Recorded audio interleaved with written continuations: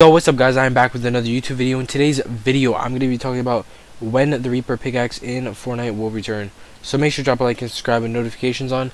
And also make sure to use my code in the Fortnite Shop if you guys want to support me or get anything in the Fortnite Shop for completely free. Make sure to use my code in the Fortnite Shop and make sure to comment down below your epic name so I can add you guys and gift you guys.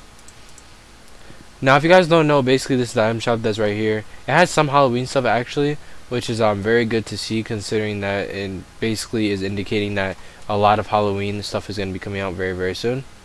So basically, if you guys don't know about the Reaper pickaxe, I'm going to be telling you the information about it, but I'm going to be showing you it real quick because some of you don't know what it looks like probably.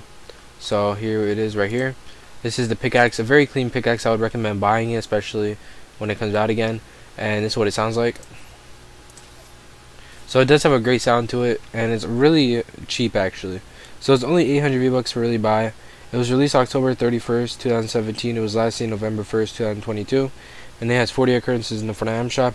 And the last time we seen it was actually November 1st, 2022, which basically that's going to be running into my prediction.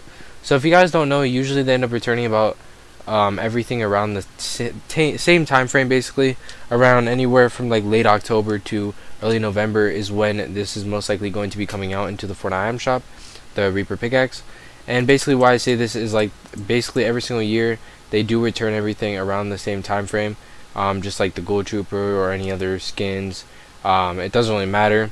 But yeah they usually end up returning around the same time which means that really any time between really October 20th to about November 5th. At the latest, I would say November 5th because I can't really imagine them releasing it way past October because that really wouldn't make sense considering October is when Halloween is and all that type of stuff.